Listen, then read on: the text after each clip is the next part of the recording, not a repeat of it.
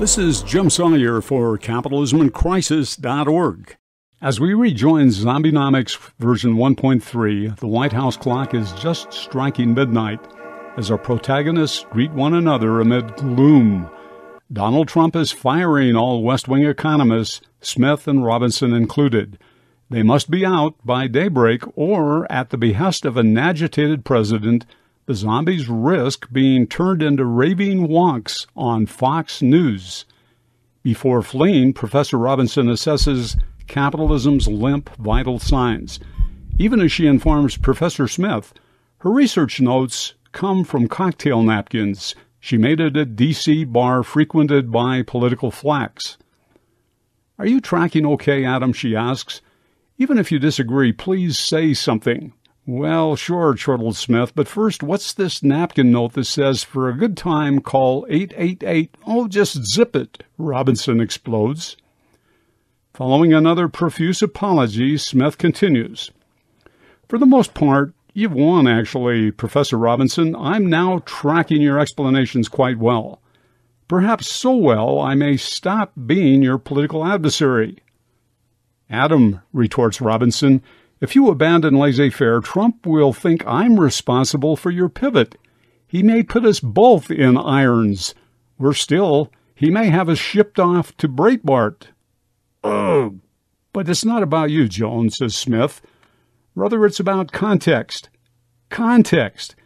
It's about understanding classical economic doctrine, any doctrine, not in isolation, but informed by actual human events and because you didn't come on stage until two centuries after me, you've got loads more experience with economic events than I do. You're way better equipped to contextualize what's happening now. Contextualize? Explain. Examples? Examples? Robinson demands. Interrupting, however, a male White House porter approaches urgently with important information for the zombies in between late night Twitter posts and from bugs planted in flower pots, the president has been eavesdropping. He's now yelling about a zombie double cross, cautions the porter to Adam Smith.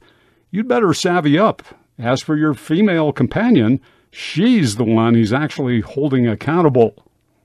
Without blinking, the zombies rush to finish before daybreak heralds their demise. So back to context. Smith continues. Some examples? Sure. Even some from outside economics. I've been reading research by Dr. Stephen Bezruchka on smoking outcomes of American males compared to Japanese males.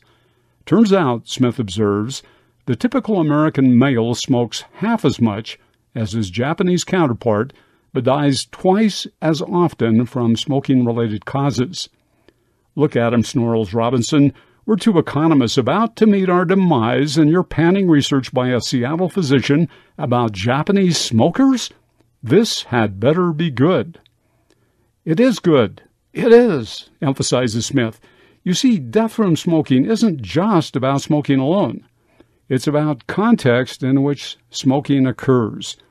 American males are much more vulnerable to tobacco because, compared to Japanese males, they live in a much less equal society, and that impacts their overall health remarkably. They aren't just vulnerable to smoke, but contextually to smoke compounded by the effects of United States class based inequality, social isolation, and economic marginalization included. Okay, Robinson reflects, I'm beginning to understand why you find context so important. So let me get right to where I think you're headed. The significance for economics apparently is this doctrine heavy claims about how the economic world is believed to work must be tempered by real world context, by how doctrine actually performs, not how one merely wishes it to perform. Gotcha, Adam Smith responds. So let's see more examples, economic examples, Robinson prompts. Next, Smith delves into China their economic growth rates once tripled or quadrupled America's, he observes, but more recently, Chinese progress is sagging somewhat, and here's an important reason why. Early on, three decades ago, China relocated massive numbers of workers from rural farms to urban factories. Growth soared. But once the really productive workers had been moved, turns out those at the back of the queue, productivity wise, were not able to continue to make the same astonishing contributions. And so? asked Robinson. Well, simply put, says Smith, context changed in the shift from rural farms to urban factories. Chinese economic policies based on old rapid growth, rural to urban, broke down somewhat as massive rural displacement ebbed.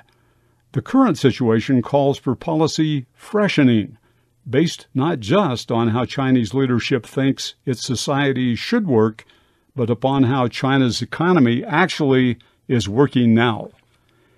Then Smith asks Robinson, Do you see parallels with the United States? Wow, yes, I do, Robinson responds. So, to throw some light on that, next we should explore why laissez faire came to crisis during the Great Depression and why fundamentalists were unable to accept fully necessary paradigm revisions. Good idea. But you know, Joan, says Adam, I can't help fixating on what's about to happen to us. Do you suppose we'll be sucked out of the White House through the ventilating system? Will my powdered wig be blown away? I'm not sure I could find another just like it. Calm yourself, Adam Robinson cautions. Remember, we're zombies now. So, one, probably I won't hurt much. And two, screw your stupid wig if you don't mind me speaking boldly. Just then, the air conditioning switches on with a powerful blast. Is this it? The zombies wonder. To be continued. Stay tuned.